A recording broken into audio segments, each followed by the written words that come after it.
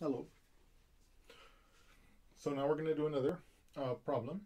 It's called the it's called the Karla's Tortilla Factory problem. Okay, let's begin by reading it. Karla's Tortilla Factory produces flour tortillas whose weights are normally distributed with mean 3 grams and standard deviation 0.15 grams.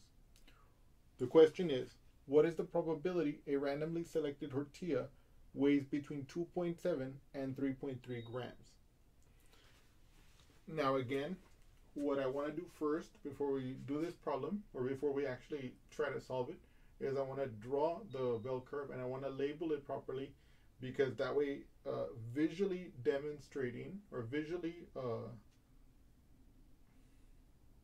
making a picture of what the problem is saying visually will help us to ensure that we're reading it properly and that we're solving for the right quantities and maybe might help us uh, solve this problem in and of itself, okay?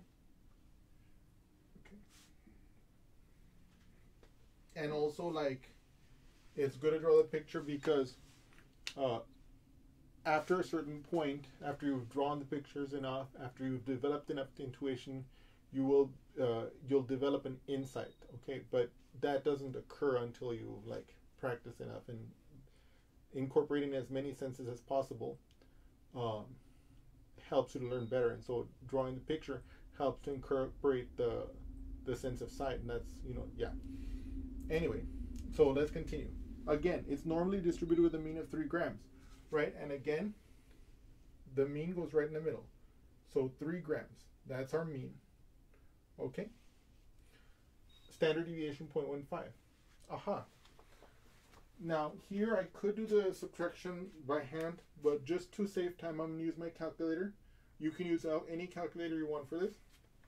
So 3 minus 0.15 is 2.85. That is mu minus 1 sigma. Okay? In other words, the mean minus 1 standard deviation. I can subtract 0.15 again, and I get 2.7. That is my mean minus 2 standard deviations. Uh, and then I can subtract uh, a standard deviation again, and I get 2.55 okay? And that is, of course, the mean minus three standard deviations, okay? Now, I can also add uh, the standard deviation. So 3 plus 0.15, that would be 3.15, okay? So let's imagine. That would be the mean plus 1 standard deviation, right?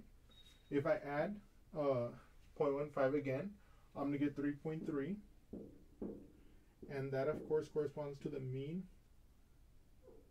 plus two standard deviations.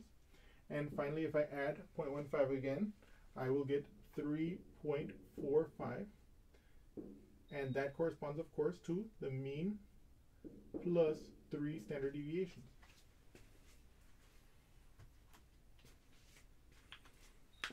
Now let's read the question again.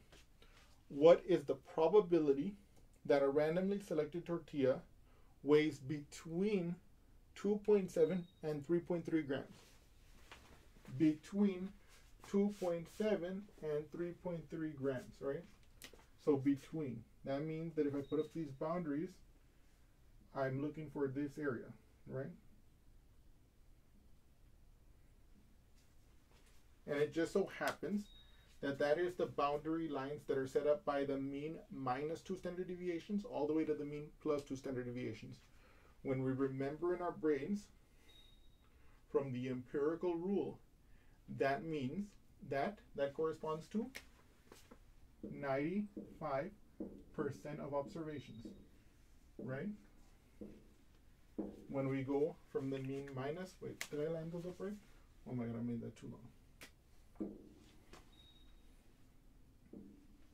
right? When I want to find the area under the curve, when you go two to the left and two to the right, that whole area, as I've drawn here, corresponds to 95% of observations or 0.95. So the probability, okay, that, and again here, let's pretend that this distribution is x, where x is normally distributed with mean 3, standard deviation 0.15 as stated in the problem.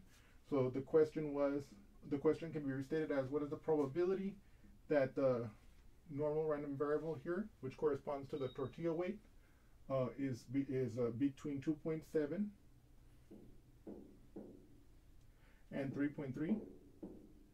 That probability from the empirical rule is 0.95. Okay. And you see, what I'm trying to claim to you also in drawing this figure is that it was very easy when I drew this figure. And when I labeled the the multiples of the of the standard deviation from the mean, it was very easy to to identify that this was going to be an empirical rule problem because the 2.7 lined up exactly with two standard deviations below the mean and the 3.3 and the 3.3 lined up exactly two standard deviations to the right of the mean okay? If I hadn't drawn it that might not have appeared so uh, so that might, that might not have appeared so obvious.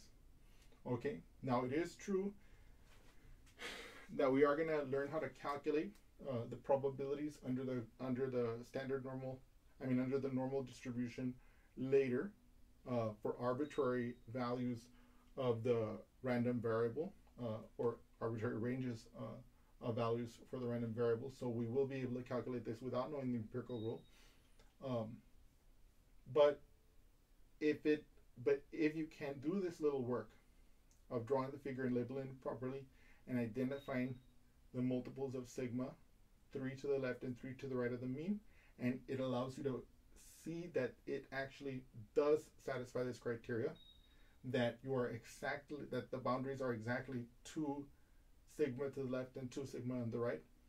Why not do it? You know. Any anyway, but so. Um, um,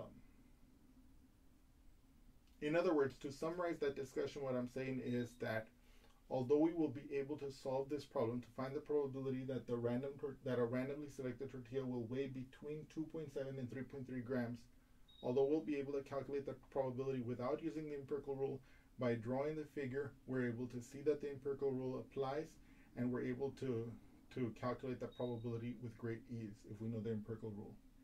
And um, and I just think that that's more efficient. Okay and it would only have become possible if we had run the, the figure. Anyway, let's move on to the next problem, and I hope that you've enjoyed this discussion.